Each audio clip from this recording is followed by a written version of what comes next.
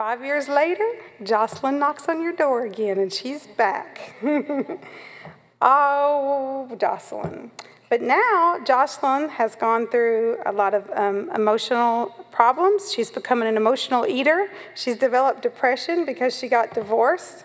Her BMI is up to 33. She's probably been doing that lunch dating thing, I think. And she's probably been drinking a little more than the uh, one night of one night of, uh, one glass of wine every night. She's having more girls' night outs, I think.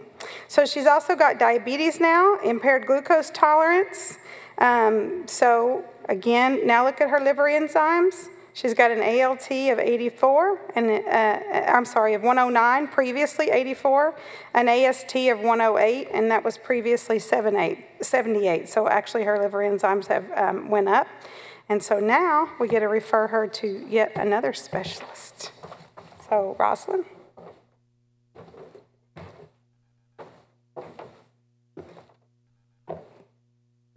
So I get the privilege of talking about America's favorite pastime here.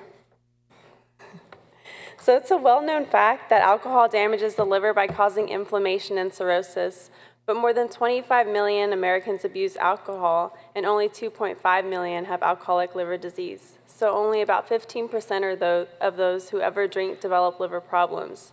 So this means that there are other contributing factors to this, and that's a good thing for us. Uh, certain genes make people more vulnerable to developing liver disease in the setting of excessive drinking. So there are many factors that determine risks for alcoholic liver injury, but the most important are genetic factors, gender, and pattern of drinking. Women can have alcohol-related problems at lower drinking levels than men. However, men outnumber women in heavy drinking. So because the liver contains the necessary enzymes to break down alcohol, this organ is heavily relied upon for its metabolism. High levels of these byproducts lead to cell death and liver damage.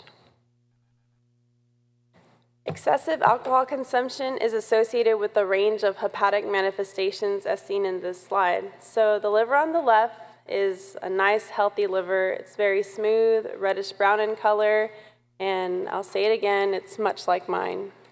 And the middle one, on the other hand, is not so pretty. Its color has changed now. It's a little yellow. It's fatty. It's enlarged.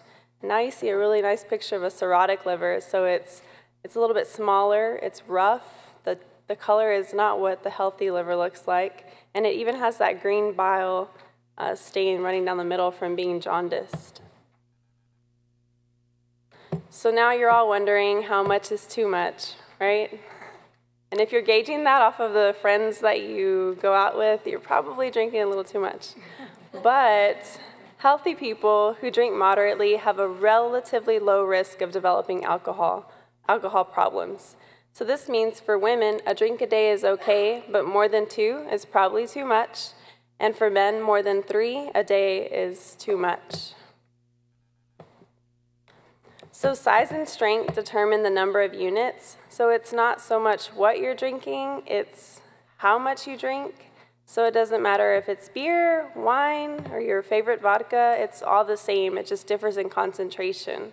And this slide also brings up another important topic about beer and alcohol. A lot of your patients may not think that beer is alcohol. So lots of times you're taking a history, you're asking them, you know, do you drink alcohol? They say no. Later on, they tell you, oh, yeah, I have, you know, a six pack when I get off of work, just to relax.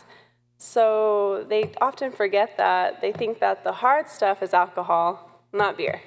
So always clarify that when you're taking your medical histories.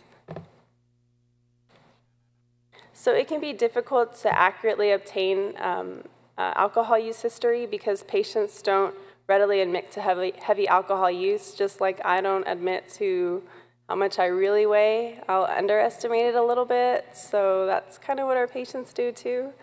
So how can you determine if somebody has a drinking problem?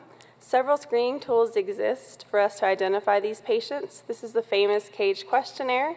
So answering yes to two or more of these questions means that we have a potential problem here.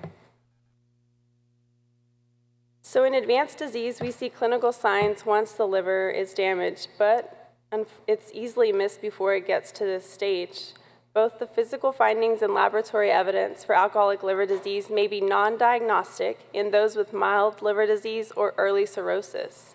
Unfortunately, symptoms like this often manifest only after severe life threatening liver disease has already developed.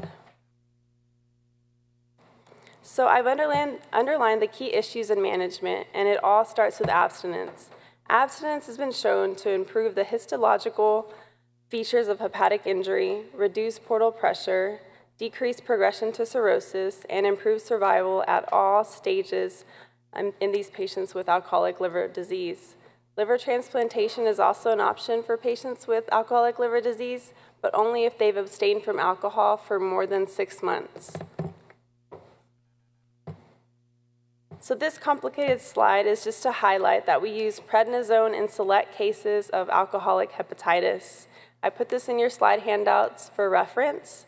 Alcoholic hepatitis usually occurs when you ingest large amounts of alcohol in a short period of time, and it can be life-threatening.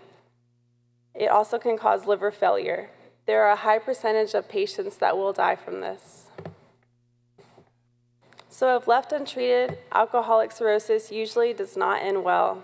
The key is to identify and treat the disease and the patient. These individuals need tremendous support and a team around them. By some estimates, 37% of those with a drinking problem have an underlying mental health condition like depression.